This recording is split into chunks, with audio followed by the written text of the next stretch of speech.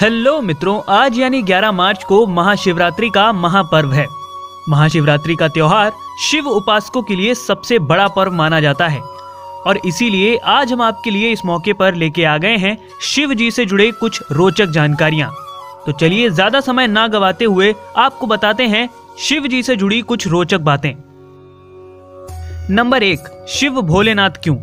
भगवान शिव को कई नामों से पुकारा और पूजा जाता है। भगवान शिव को भोलेनाथ भी कहा जाता है।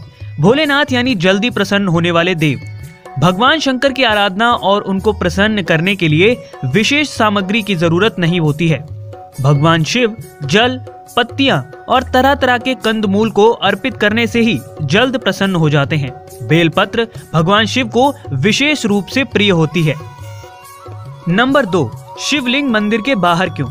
आपने देखा होगा सभी मंदिरों में शिवलिंग मंदिर के गर्भगृह में नहीं, बल्कि बाहर होते हैं। भगवान शिव ऐसे अकेले देवता हैं जो गर्भगृह में नहीं होते हैं। भगवान शिव अपने भक्तों का विशेष ध्यान रखते हैं। उनके दर्शन दूर से ही सभी लोग, चाहे वो बच्चे हों, बूढ़े हों, आदमी हो या फिर महिलाएँ हों, कर सकते हैं। नंबर तीन, शिवलिंग की ओर नंदी का मुँह क्यों? किसी भी शिव मंदिर में पहले हमें शिव के वाहन नंदी के दर्शन होते हैं। शिव मंदिर में नंदी का मुँह शिवलिंग की ओर होता है। आखिर नंदी शिवलिंग की ओर ही मुख करके क्यों बैठा होता है? दरअसल नंदी शिव जी का वाहन है। नंदी की नज़र अपने आराध्य की ओर हमेशा होती है। नंदी के बारे में यह भी माना जाता है कि ये पुरुषार्थ का प्रतीक भी है।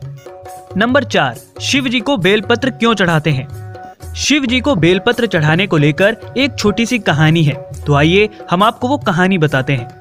दरअसल समुद्र मंथन के समय विष के प्रभाव से शिव जी का मस्तिष्क गर्म हो गया। ऐसे समय में देवताओं ने शिव जी के मस्तिष्क पर जल उड़ेलना शुरू किया, जिसके बाद उनके मस्तिष्क की गर्मी कम हुई। बेल के पत्तों की तासीर भी ठंडी होती है, इसलिए शिव जी को बेल पत्र भी चढ़ाया गया। इसी समय से शिव जी की पूजा जल और बेल पत्र से शुरू हो गई। बेल पत्र और जल से शिव जी का मस्तिष्क शीतल रहता है और उन्हें शांति मिलती है। इसलिए बेलपत्र और जल से पूजा करने वालों पर शिव जी प्रसन्न होते हैं। तो दोस्तों, फ़िलहाल इस वीडियो में सिर्फ़ इतना ही। तमाम ऐसी वीडियोस के लिए हमारे चैनल को सब्सक्राइब ज़रूर करें और इस वीडियो को लाइक करना, शेयर करना बिल्कुल ना भूलें। हफ़्ता वसूल, कामना करता है कि महाकाल की कृपा आप सभी पर बनी रहे।